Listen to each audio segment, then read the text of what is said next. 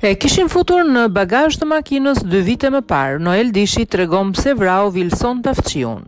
Noel Dishi vrau shokun e tij Vilson Tafçiun në 20 janar. Autori i dyshuar i vënë në pranga Dishi që ka dalë para gjykatës Ishte marrë peng dy vite e gjysëm më parë në Durrës.